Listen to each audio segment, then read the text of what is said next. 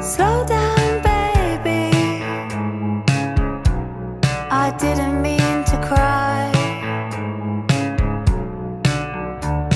No, no more questions. You always had.